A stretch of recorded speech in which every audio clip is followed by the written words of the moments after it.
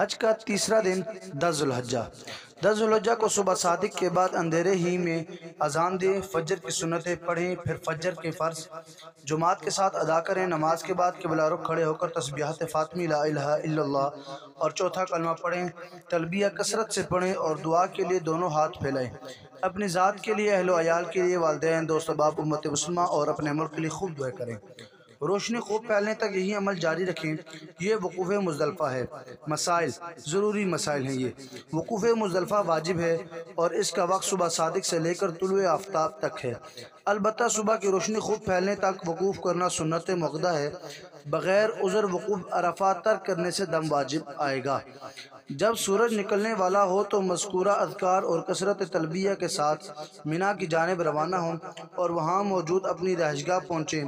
मीना में आपने तीन दिन रहना है, यानी दस, ग्यारह और बारह जिलहजा नीस तवाफ़ ज़्यारत के लिए इन्हीं तीन दिनों में से किसी एक दिन मक्का जाना होगा। मीना पहुँच कर ये तीन काम तरतीब से करें। पहला काम जमर अकबा की रमी। जमरात पर जाएँ और सिर्फ़ जमर अकबा की रमी करें, यानी कि पहली दीवार जो आएगी। यानी इस पर सात कंकरियाँ मारें। इसका तरीका ये है कि जमरे से कम अज़ कम पाँच हाथ के फासले पर से हर कंकरी बिस्मिल्लाह अकबर कह कर जमरे के सतून की जड़ में मारें। कंकरी के जमरे की जड़ में या इसके नज़दीक के अहाते में गिरना ज़रूरी है। कंकरी मारने के साथ ये दुआ पढ़ना बेहतर है।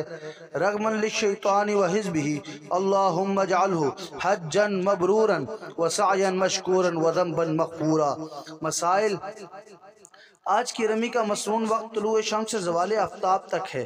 फिर गुरुब आफ्ताब तक बिला कराहत जायज़ है और गुरूब आफ्ताब से लेकर सुबह सादिक तक जायज़ तो है, लेकिन मकरू है। अलबत् ख़वातीन और ज़यीफ़ों के लिए मकरू नहीं। जमरिया कबा को कंकरी मारते ही तलबिया पढ़ना ख़त्म कर दें। आज की रमी के बाद वहाँ ठहर कर दुआ करना मसनू नहीं। रमी करके वापस चले जाएँ, दूसरा काम कुर्बानी करें। रमी के बाद दूसरा काम कुर्बानी है हज किरान और हज तमतों की सूरत में। कुर्बानी वाजिब है और हज अफराद वालों के लिए वाजिब नहीं, बल्कि मुस्तहब है। ज़रूरी मसाइल। कुर्बानी के तीन दिन हैं, यानी दस, ग्यारह, बारह जुलहजा पहले दिन करना अफजल और दूसरे, तीसरे दिन करना जायज़ है। हज किरान और हज तमत्तो करने वाले के लिए ज़रूरी है कि जब तक कुर्बानी ना कर ले, उस वक्त तक एहराम ना खोले। अगर कुर्बानी दूसरे दिन या तीसरे दिन की तो इस वक्त तक एहराम ना खोले, बल्कि इस वक्त तक एहराम में रहना लाजिम है। कुर्बानी ख़ुद करना बेहतर है, लेकिन अगर किसी बातमाद इदारे या बैंक के ज़रिए भी करवाएँ तो जायज़ है। अगर किसी बैंक या इदारे से करवाएँ तो वो इदारा जो वक्त कुर्बानी का बताए, उससे पहले हालक या कसर करवाना एहराम खोलना जायज़ नहीं करवा कर एहराम खोलना जायज़ नहीं। हज की कुर्बानी के जानवर में वही शराय ज़रूरी हैं, जो ईद अजी की कुर्बानी के जानवर में ज़रूरी होती हैं। जो लोग साहिब वसत हों और हज के अयाम में मुकीम हों तो उन पर ईद अजी की कुर्बानी भी वाजिब है। हज तमत और हज करान की कुर्बानी का हदूद हरम में ज़बा करना ज़रूरी है और ईद अजी की कुर्बानी में हदूद हरम इसके अलावा किसी और जगह भी कराएँ तो जायज़ है। अपने मुल्क में भी करवा सक, करा सकते हैं। तीसरा काम हलक या कसर करना। कुर्बानी के बाद तीसरा काम हलक या कसर करवाना है। इसकी तफसील उम्र के तरीके में मुलाहजा फरमा लें। मसाइल। हज का हलक या कसर मिना में कराना सुन्नत है और हदूद हरम में हर जगह जायज़ है। हाँ अगर हदूद हरम से बाहर जाकर हलक या कसर कराया तो दम लाजिम होगा। दूसरा मसला मस्कूरा तीनों काम जमर अकबा की रमी, कुर्बानी, हलक या कसर में तरतीब वाजिब है। अगर किसी ने इन कामों में तरतीब मलहूज ना रखी, मसलन रमी से पहले कुर्बानी कर ली, कुर्बानी से पहले हलक या कसर करा लिया या रमी से पहले हलक करा लिया तो इन तमाम सूरतों में दम लाजिम आएगा। ये तीन काम कर करने से हाजी एहराम से निकल जाएगा। अब इस पर एहराम की पाबंदी लाजिम नहीं अलबत् बीवी से सहबत करना और बोस किनार, और बोसो किनार करना, और बोसो किनार करना तवाफ़ ज़्यारत करने तक हलाल नहीं होगा।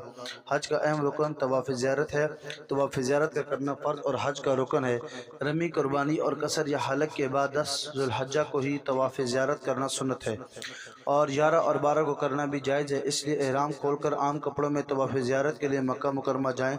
और तवाफ़, और तवाफ़ ज़्यारत कर लें। जब तवाफ़ कर चुके हैं तो वापस मिना आ जाएँ और रात का क्या मिना में करें। मसाइल दस लज्जा के चार चार अफ़ाल रमी, कुर्बानी हलक या कसर और तवाफ़ ज़्यारत में से पहले तीन अफ़ाल में तरतीब वाजिब है। लेकिन तवाफ़ ज़्यारत और तीन मस्कूरा अफ़ाल के दरमियान तरतीब वाजिब नहीं, बल्कि मुस्तहब है। तवाफ़ ज़्यारत का वही तरीका जो उम्र के तरीके में गुजरा। तवाफ़ ज़्यारत के बाद हज की सही करे और अगर हज की सही पहले कर ली है, मसलन मुफरत या कारिन ने तवाफ़ कदूम करने के या तमत्तो ने हाट जुलहजा को हज का एहराम बांधा और मीना में जाने के बजाय बैतुल्ला गया और वहाँ नफली तवाफ़ के इसके बाद सही कर ली। तो अब तवाफ़ ज़्यारत के बाद सही करने की हाजत नहीं, सिर्फ़ तवाफ़ करना काफ़ी है। तवाफ़ ज़्यारत के बाद तमाम ममनूनात हलाल हो जाते हैं हती कि बीवी के साथ बोसो किनार और हम बिस्तरी भी हलाल हो जाती है। चौथा मसला, अगर किसी ने बारह जुलहजा के गरूब के बाद तवाफ़ ज़्यारत किया, इससे पहले ना किया तो इस पर दम लाजिम होगा। औरत के लिए आयाम की हालत में तवाफ़ ज़्यारत करना हराम है, इसलिए इसे चाहिए कि अब तवाफ़ बिल्कुल ना करें, बल्कि जब पाक होकर गसल कर ले तो उस वक्त तवाफ़ ज़्यारत और सही करे। इस मजबूरी की वजह से बारह जुलहजा के अयाम भी गुजर जाएँ, तब भी कोई हर नहीं, इस तखिर की वजह से उस पर कोई दम वाजिब नहीं हो।